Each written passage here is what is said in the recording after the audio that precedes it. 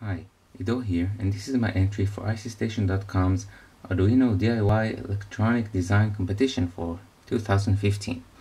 I call this the Arduino Kickstarter, and it's made of uh, two separate elements.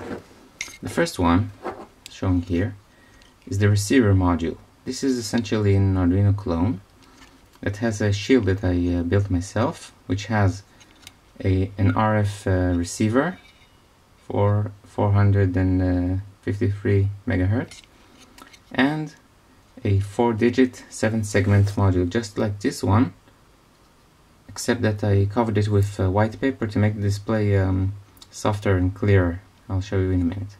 Now all this does is wait for uh, for sequences of uh, four characters to arrive on the radio and when they arrive it, show it, it shows it here. The other module is the one that is sending this data. This is a bit more complex. First, it has um, three AA batteries that go into this um, DC to DC uh, boost converter. This uh, translates um, the 4.5 volts from here to 12 volts.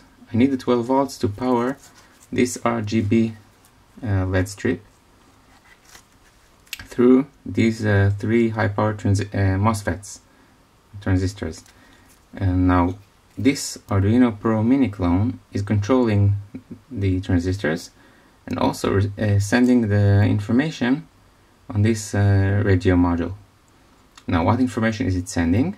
Well, when you power this up, the first thing it does is to show you a little uh, light show, just to show that it's working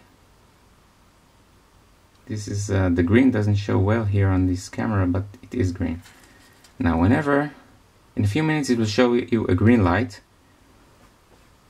And then after one second it becomes red. The green light is is your um, cue to to do something. And to do what? To activate this um, vibration sensor. You see?